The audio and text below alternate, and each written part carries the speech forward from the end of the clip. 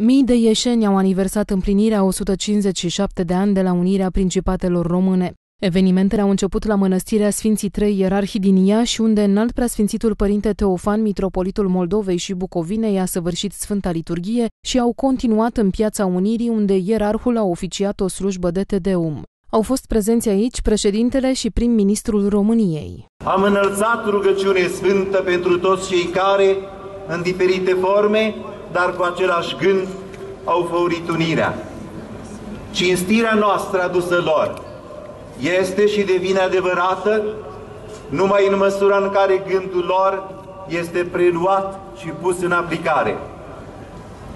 Iar așteptarea lor îndreptată din veșnicie către noi, cei de astăzi, nu poate fi altceva decât credință în Dumnezeu, integritatea țării, revenirea acasă a Basarabiei, apărarea familiei, stoparea dezastrului demografic și rezolvarea problemei legate de emigrarea românilor în afară, precum și cinste, onestitate și înțelegere între noi.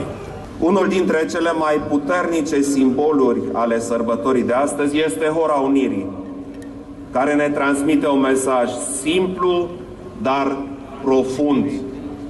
Doar împreună vom reuși.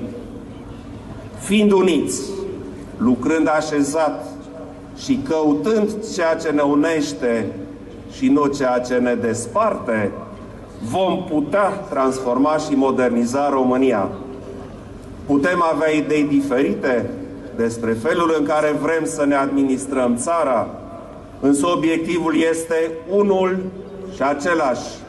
O Românie puternică și prosperă. Evenimentele din Piața Unirii din Iași au continuat cu momentul depunerii coroanelor de flori în fața statuii domnitorului Alexandru Ioan Cuza cu o paradă militară și s-au încheiat cu Hora Unirii. În continuare, la mănăstirea Sfinții Trei Ierarhi, unde se află mormântul domnitorului Alexandru Ioan Cuza, înalt preasfințitul părinte Teofan a oficiat un parastas la care au participat președintele țării, Claus Iohannis, și prim-ministrul Dacian Cioloș.